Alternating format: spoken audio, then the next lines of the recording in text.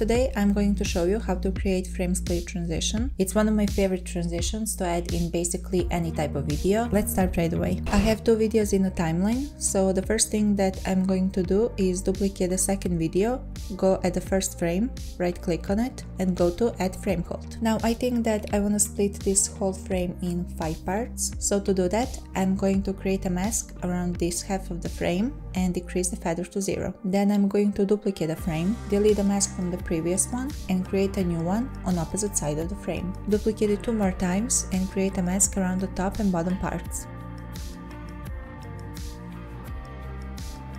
And I'll just go back to the first two frames real quick and extend the mask like this. Okay, the worst part of this tutorial is done. I'm not a big fan of masking or rotoscoping, but for some transitions and effects like this one, it's so worth it. Now I'm going to nest each frame separately and the first effect that I'm going to apply is transform. I'm applying it on the first frame, then I'll go 5 frames to the right and keyframe position and scale as it is, then go back to the start, scale it up and move the position to the left until it's out of the screen. Then change the shutter angle to 180. Now I'll do the same for the other side, only change the position so it's coming from the right. Okay, let's move 5 frames and drag the bottom part of the scene, apply transform and this time drag the position down moving 5 frames again and dragging the door one, then move 3 frames and drag the subject. And I'll do the same for the subject and the door part, so I'll just drag the position down. Usually I would drag the position up, but for this specific scene it makes more sense for me if it's coming from the bottom part of the screen.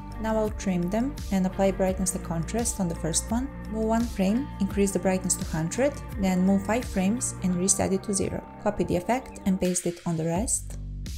Then I am applying lens distortion, move one frame and change it to minus 100, move 5 frames and reset it to 0.